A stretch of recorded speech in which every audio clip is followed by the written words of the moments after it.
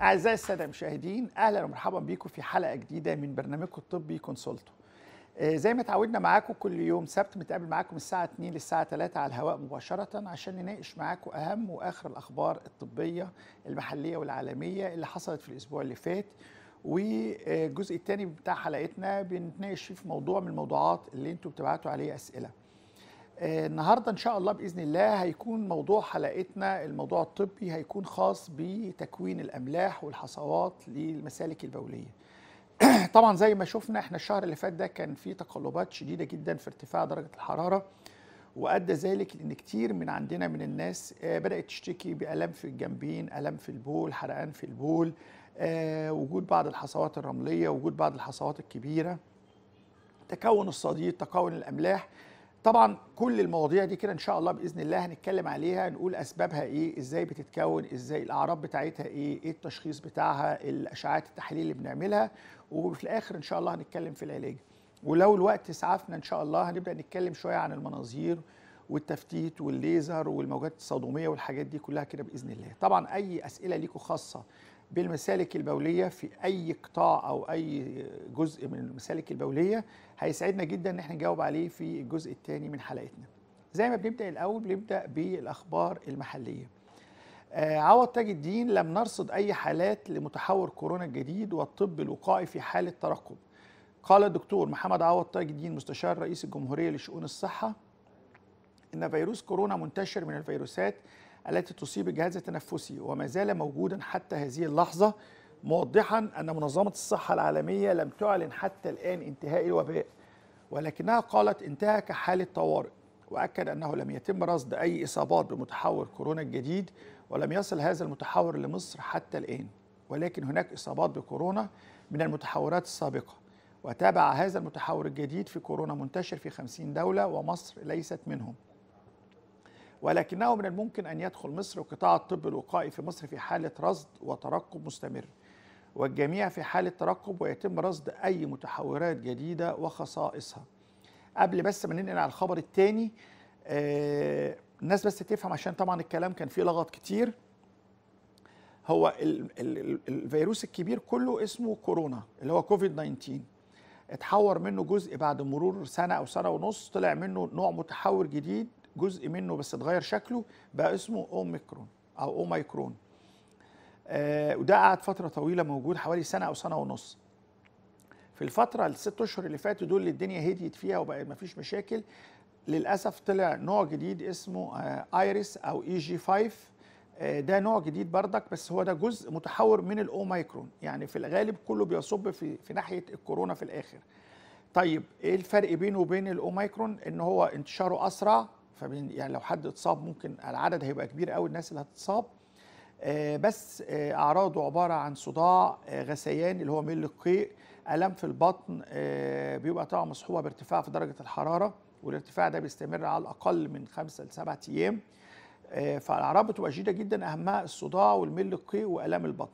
طبعا ممكن بيكون معاه عطس أو رشح مش في معظم الحالات. فالتاني طبعا الأوميكرون كان أقل شوية في الحدة.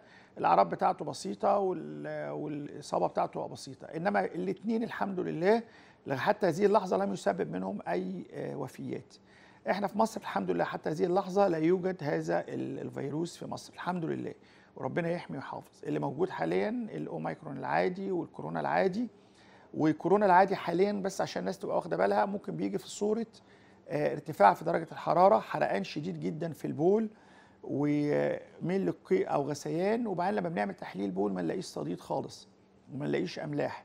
ده بيبقى درجة من أو نوع من أنواع الكورونا اللي بتصيب الجهاز البولي والجهاز الهضمي. وبيبقى بتقعد حوالي بردك من 5 ل 10 أيام. آه معظمها بتبقى الام شديدة جدا في المسالك البولية والجهاز الهضمي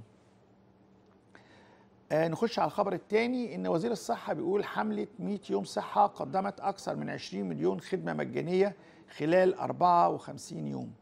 أعلن دكتور خالد عبد الغفار وزير الصحة والسكان تقديم 20 مليون و585 ألف خدمة طبية من خلال حملة 100 يوم صحة منذ انطلاقها يوم 25 يونيو الماضي وحتى 17 أغسطس في جميع محافظات الجمهورية. ودعا عبد الغفار جميع المواطنين إلى التوجه لمقرات تقديم خدمة الحملة وأماكن تمركز العيادات المتنقلة للاستفادة بخدماتها أو طلب الزيارات المنزلية للمرضى من المسنين.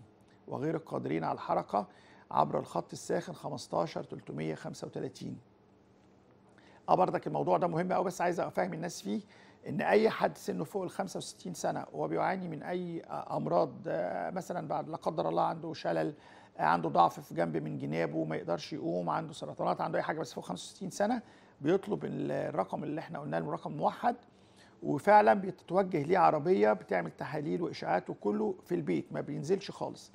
وده ناس كتير طلبت وتوجهت لهم العربية وخدمة جميلة جدا وفي منتهى الروعة. الناس العادية يروحوا جميع محطات المترو محطات التجمعات زي الجامعات المدارس النوادي هيلاقوا قدامها عربيات واقفة بتعمل التحاليل دي بالمجان والاشعه بالمجان. آه، وزارة الصحة بتوضح آليات الوقاية من فيروس B. قالت وزارة الصحة والسكان أنه يمكن الوقاية من الإصابة بفيروس B عن طريق التطعيم للأطفال حديثي الولادة ويعطى للبالغين ممن لم يتلقوا التطعيم. أوضحت وزارة الصحة والسكان أن التهاب آه، الكبد الفيروسي B عدوى تهدد حياة الشخص المصاب بها وتعرضه لمضاعفات خطيرة.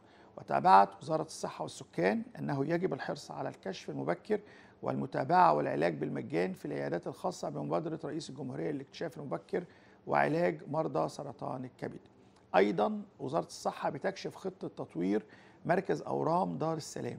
أكدت وزارة الصحة والسكان أنه سيتم تطوير مركز أورام دار السلام اللي كان اسمه مستشفى هرمل أيام زمان وذلك لتحسين خدمات علاج الأورام للمواطنين حيث تهدف عملية التطوير إلى تحسين الخدمات الطبية المقدمة لمرضى الأورام في مصر وتلبية احتياجات القطاع الصحي. آه تماشيا مع رؤية مصر 2030 وأضاف عبد الغفار أنه سيتم تطوير البنية التحتية لمركز أورام دار السلام هرمل إلى جانب تدريب ورفع كفاءة العنصر البشري والأجهزة الطبية بمستويات عالمية ليكون مركزا جاذبا للسياحة العلاجية ورفع مستوى الخدمة الطبية المقدمة للمريض المصري. من أخبارنا العالمية الصحة العالمية بتعقد مؤتمر عن دور الطب التقليدي لمواجهة التحديات الصحية.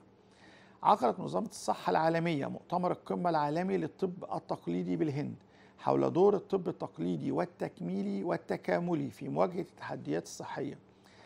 ودفع التقدم في الصحة العالمية والتنمية المستدامة. قال الدكتور تيدورز أدهام مدير عام منظمة الصحة العالمية أنه يمكن للطب التقليدي أن يلعب دورا مهما.